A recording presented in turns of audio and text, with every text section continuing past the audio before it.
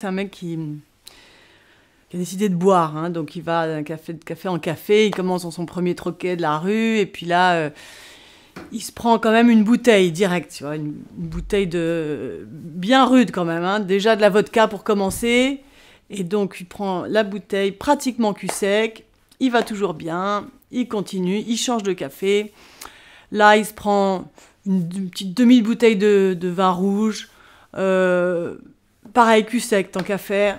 Il tient toujours bien le coup, alors il est content, il change de troquet, il va, il va dans celui d'en face.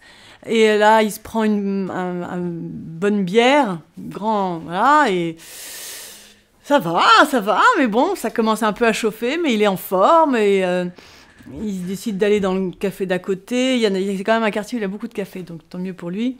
Et là, il va se prendre euh, un petit whisky. euh, bon, ça va toujours bien. Et puis, il sent quand même qu'il peut pas trop changer de café. Là, il décide de rester là et de, se prendre euh, un petit verre de, encore de vodka, tant qu'à faire.